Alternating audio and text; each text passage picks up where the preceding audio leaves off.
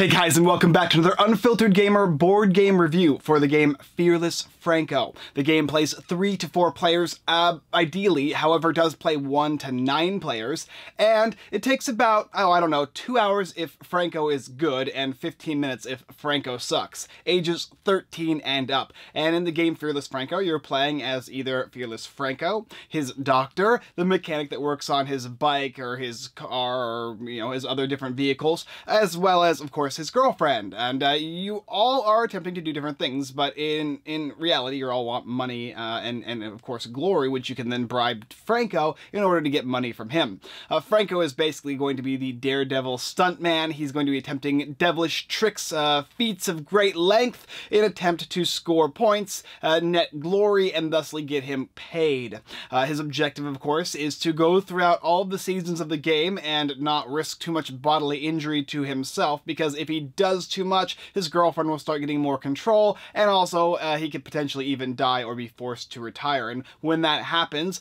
everybody's going to tally up their money. The doctor, for all the work that he's put into Fearless Franco over the years, uh, the girlfriend, all the money she's received from child support, as well as booking his gigs and other nefarious things that she can do, and his mechanic, the one who is fixing the damage to his vehicles and upgrading them. And then, of course, with the larger player variant, uh, there are going to be people who are betting on the stakes of the game, and basically at the end of the game, whoever has the most money by the time he dies or retires is the winner of this stuntman dexterity slash re simultaneous reveal game in which you're trying to gain as much money and glory as possible. So here we have a game of Fearless Franco set up for three or more players, and the first thing we're going to do is, of course, set up the game board, and I'll explain how that works. Take the main board of the game and place it in the middle of the board so that everybody can see it, then go ahead and place all the money in the banking area, place the special circumstances and jump decks here in the spaces provided. Make sure that they are shuffled. Place the time token on the marker for year one on the season as it will go around the track, into which a case either Fearless Franco will be gracefully retiring, forcefully retiring, or passing on. Place this little jump tracker uh, next to this area here because you will be placing a jump card on it very shortly. And place all damage markers on each of the yellow spaces indicated here for each of the three different vehicles. Then go ahead and give each player a deck of cards. Now, in a three-player game, you'll be playing with three of these decks here, and in a four-player, you'll play with all of them. If you play with more, you're going to use this fifth deck. This will allow betting spectators to participate in the game, thusly allowing people to determine how well Franco is going to do. Set up this jump track somewhere separately. You will be changing the difficulty of the track based on it being a piece of cake or it being basically impossible, and have it available for players to utilize. I'll just leave it here as set as demanding. You have your two die here, which will be used mostly for your luck checks whenever you're performing a jump as opposed to a skill one like this one is providing, and place your vehicles over here. Every player has starting cards they'll be able to take, and it'll tell you in the rules what those are. But for instance, uh, Franco here is going to have these three LD cards here in his hand to start the game off with, and his girlfriend will have something like uh, paying for child support for her kid. All of the glory, injury, and damage tokens need to be set aside for players to be able to have in the game, and these SP tokens will be set near as well. And that's pretty much it for the setup of the game. Other than most importantly, determining the difficulty of the game, easy, medium, or hard. Depending on the difficulty, you will increase the amount of money that Franco will get, as well as the potential damage that Franco will have. So when you're playing with an easy game, you're going to get $2,000 extra and one injury to Franco. And how that works is, in the base game, you're going to get $400 for Franco, and then uh, you're going to add uh, 2,000 more whenever you have an easy difficulty. So in this case, it's like six grand that Franco is going to start with, as well as one glory, and you can take a glory token from over here, as well as one injury. An injury is rolled with the die, determining based on the number, you'll correspond the damage to the area indicated. In this case, is a 4 to the left arm, place an injury on that space there. Uh, additionally, to the girlfriend will choose two jump cards. Take two of these guys here, pick one of them, and then go ahead and place it out onto this space here. Check the difficulty as well as the season, and in this case it's going to be here, too. And we'll place it right there, indicated by that little summer area. Discard the one that you're not using here. Any completed jump cards will go over here. Let's now talk about a round of play now that you have the idea of how the game is fully set up.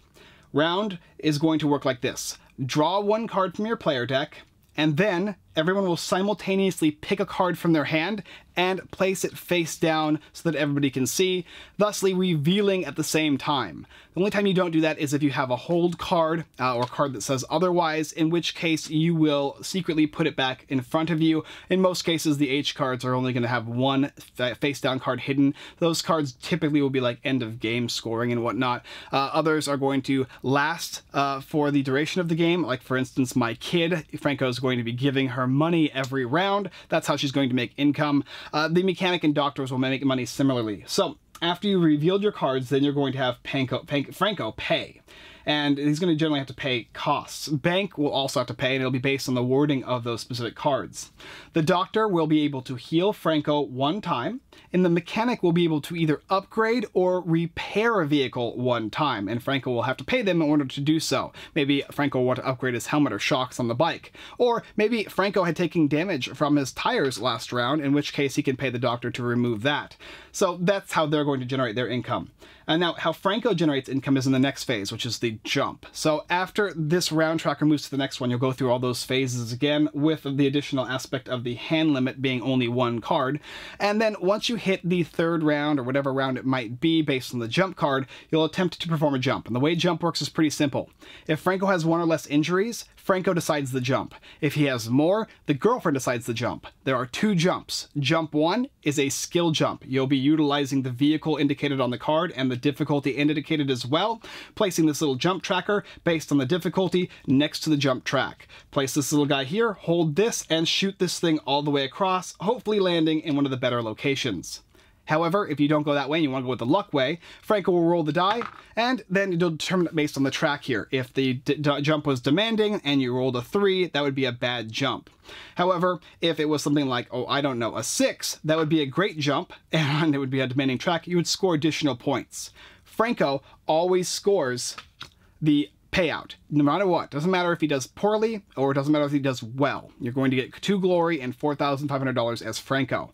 However, if you succeed, you're going to get more additional currency. If you fail, you're going to take damage to either your vehicle and or your personal well-being. And in this case here, we can look at this track. This will show the amount of damage that Franco is going to take, which is going to be indicated by rolling this die here, just like we did at the beginning of the game, and placing down a marker. Markers on this track here can stack, and if too many stack at the end of a jump, he can either be forcefully retired or even die.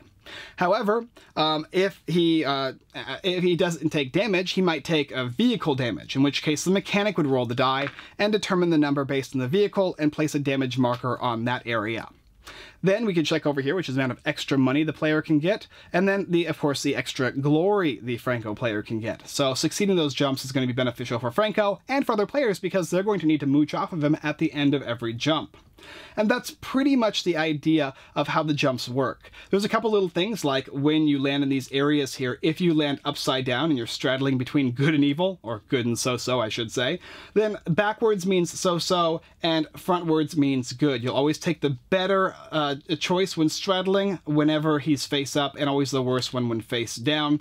Uh, the op opportunity for whether Franco chooses or his girlfriend cho chooses will change based on their needs throughout the game.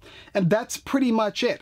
This time tracker is going to go all the way around the board, and if he successfully survives through all the way, he'll gracefully retire, getting him extra glory. If he's forced to retire or die, that will instantly end the game after a jump. If a jump is successfully succeeded, of course, like I said, she'll go ahead and choose two new ones, place the new one up, choose the new area in which the new season is going to start, and the game will proceed as normal by drawing a card, revealing a card, and so on and so forth. And that's pretty much it. That's how you play the game. There's little things like upgrades that will help you take less damage or less injury, and each of them are going to be associated by the different cars and the different bikes and the planes.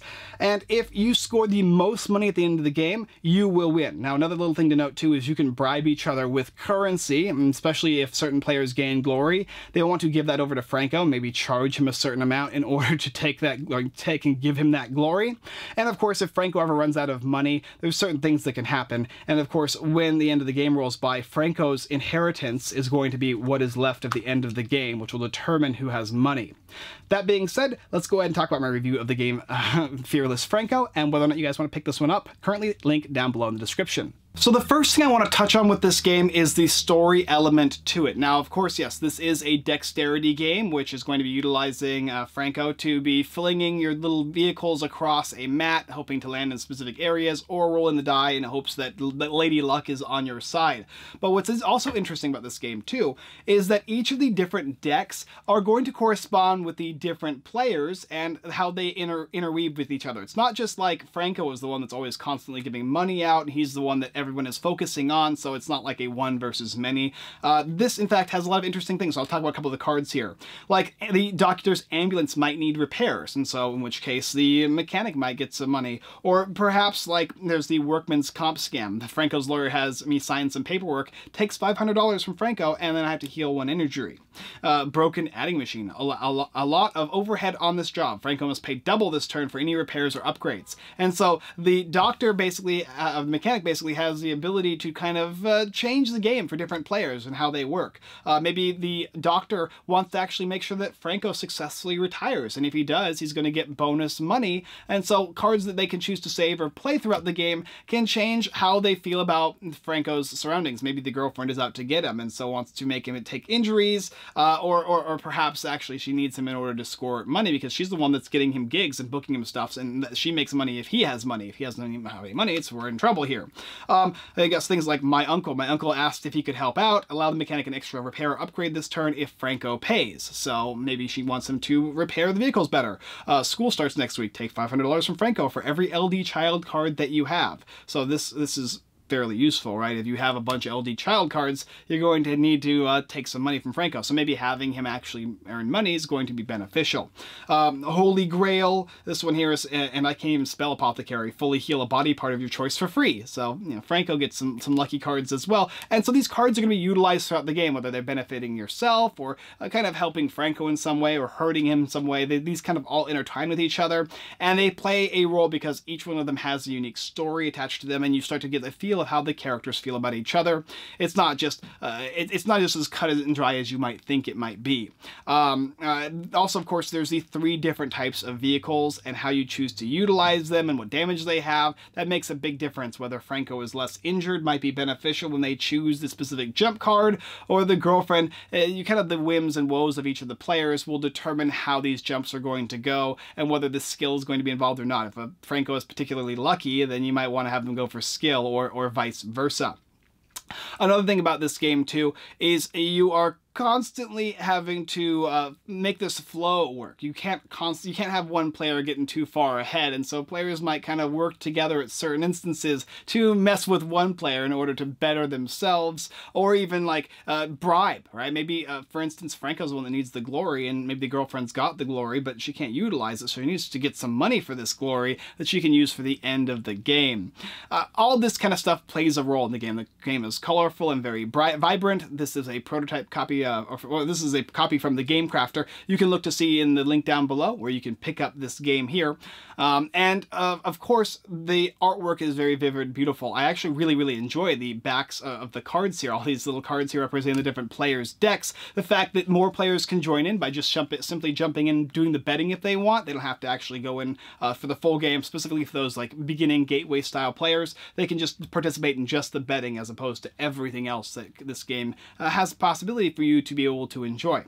Um, another thing to note too is my, if I gave this game to my graphic designer, I'm sure he would start going like changing different things. He'd want to see certain things fixed um, on the graphic design. I'm not a graphic designer, so I wouldn't begin to know how to how to, how to mess with certain things. But uh, there's certain things like, for instance, the uh, text is a little harder to read on some of them. There's a bunch of different fonts in the game, which I understand why they're doing it, but it can be a little more difficult for people to read, and to make things a little easier to read it would probably be beneficial. Uh, something like the track for the jump card, it says two seasons, but it doesn't really specify that you place the actual jump card in that tracker there, so it took me a bit. I had to go and look it up to make sure I was doing it correctly.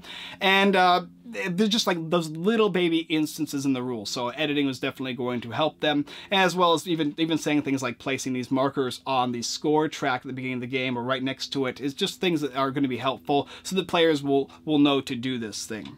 Uh, but otherwise, overall, a very enjoyable game. This game's got some funny, hectic situations. There's a bunch of different random events that are going to occur. Uh, special circumstances are going to come for each jump, which is definitely going to basically have some zany thing happen. Like uh, they say we should replace the old cracked supporting poles, adjust the jump landing one space better. So you can change the way the jump track has gone even after the jump card is done. Real, cam real camera crews from a real network, if, if, if you fail, uh, if uh, fall, jump plus one glory to jump payout. So during fall, you'll get a bonus uh, of, of an extra glory as Franco. So yeah, these, these things can change the game in certain ways. Uh, the, the money, I actually like, the paper money. It's not actually really paper money. They are actually little thicker pieces and they use are utilized pretty well. Um, but of course, for me personally, I always prefer uh, chits or tokens as opposed to money, just because they can get damaged or they can bend or break and that kind of thing. But this one's definitely better than Monopoly money, my opinion. Uh, overall, though, a fun, enjoyable game. This is what I played with my family. This is what I played with my younger cousins, and they love to see Franco get messed up. And in this case, I was Franco for the most part because I was also explaining the game, and he he involves with the the skill checks and whatnot. But of course, each character kind of feels different in their own way, attempting to have different uh, goals in mind. And when you play the game in a different way, you get to experience it in a different way as well, which is nice. If you're interested in picking up the game Fearless Franco, one unique theme I've, I've never seen it before, which is really cool stuntman game uh, with actually utilizing dexterity and card placement and of course simultaneously revealing. It's pretty cool. Take a look down below, link in the description where you can pick it up. Alright guys, thank you so much for watching. Outro time. Appreciate you guys watching another Unfiltered Gamer board game review for the game Fearless Franco. If you're interested in picking the game, like I said, link down below in the description. Also, go ahead and subscribe to the channel. Hit that subscribe button and the notification bell button. Greatly help us out here. Check out the website, unfilteredgamer.com, blog posts, giveaways, Kickstarter lists, and more. Tons of stuff that you can go ahead and take a look at and check out even more reviews on the website that are different than even the ones here on YouTube. Join our Discord, join our Patreon if you're interested, and of course, the big thing right now, Moonshell, a mermaid game my wife's designing. It'll be out March 2nd. Available on Kickstarter for you guys to go ahead and uh, enjoy to your backing pleasure. One to four player puzzle game in which you'll be placing and pulling different shells and placing onto your mermaid boards and scoring different patterns and whatnot. Uh, think of a puzzle game that is met with something like a, a Tetris style feel and a match three game. If you like that kind of stuff, uh, you're going to enjoy this one. It has the very relaxed easy mode style of the game, which is gateway, easy for everybody, and then even more complex for a deeper uh, sort of experience for more modern gamers. Regardless, though, I appreciate you guys watching. Go ahead and comment below. Let us know what you think about this game here, Fearless Franco, and whether you want to pick this up or what you have any questions, I'll go ahead and answer them down below. Appreciate you guys watching, and as always, I look forward to doing a daring and uh, devious natured uh, stunt no, I, I probably wouldn't do that. I'm already, my back is already, it's, it's really hurting actually. Like my back, I hurt my back a couple years ago and it's, it's never really, really gotten better. So I, I won't be doing a stunt, but I will see you next time.